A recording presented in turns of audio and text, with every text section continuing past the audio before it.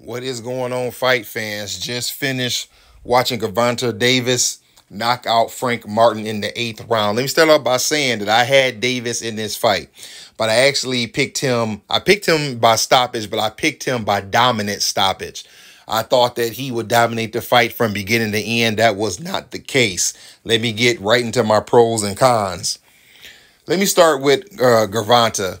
The pros would be even though he probably lost five of those first eight rounds, he stayed calm and he stayed with his game plan. He said that it may have something to do with Russ. I think it had to do with Frank Martin. I like the fact that he started going to the body a lot. Uh, starting around uh, starting around the fourth round, which I believe is what began to slow Frank Martin down. I like the fact that Davis was mix, mixing up his shots. He was not only going to the body and throwing the straight left hand, but he threw some uppercuts in there, kind of throwing Frank Martin uh, you know, off of his game plan. I like the fact that Gervonta Davis also was cutting off the ring. He was, you know, being a predator, being a stalker in there, and not letting Martin get too comfortable. As for the cons, I would say that I didn't like the fact that in those first five rounds, Gervonta Davis, for some reason, in my opinion, seemed kind of hesitant to let his hands go. It could have been the movement from from Martin, but he seemed to kind of hold back and it seemed that it took him a lot longer to figure out Frank Martin than I was anticipating. As for Frank Martin, the pros would be he had a good game plan. His game plan was to use his jab.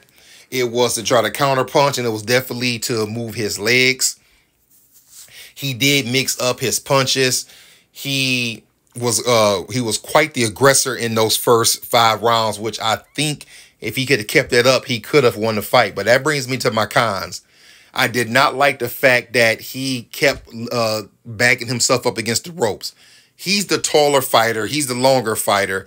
I thought he would have had more success if he would have stayed in the middle of the ring. And you can still have your movements, but the moment that you feel your back touch the ropes, you have to immediately get off. He did not do that. And that allowed Gervonta Davis to get back in the fight. I also didn't like the fact that being a taller fighter, he was almost eye to eye with Davis. He should have been standing up tall and using his reach. Instead, he put himself right eye to eye with Davis. And I also didn't like the fact that Frank Martin started, he started leaning way down allowing Gervonta Davis to really get his power going. We all know that when you are shorter than a fighter, that, that you punch harder when you punch down. Gervonta is already the shorter fighter, and he's ducking so far down that Gervonta was able to actually get his power going. Let's uh, talk about what happened in the fight. As I mentioned in my pros and cons, the first five rounds, I thought it was all Frank Martin. I thought that he had a great game plan, and I'm saying in my mind, this guy is actually going to pull this off. I'm thinking he's going to lose this fight, but he's going to pull this off and he's going to beat Gervonta Davis if he can just keep it up. But when we got to about the mid fifth, but to around the sixth round, Gervonta began to turn it up. He began to go to the body a lot, and it was very evident that he was hurting Frank to the body because Frank he started lower you know you if you look at his elbows he started his elbows were tucked in at his rib cage because he did not want that body work which allowed Gervonta to go upstairs and unleash his shots. I felt that Frank got undisciplined in that seventh round. He started leaning against the ropes, put, letting his back be against the ropes, and Gervonta saw it and took advantage of it. Let's get to the eighth round. We saw what happened. Like a true champion, Gervonta saw the opening.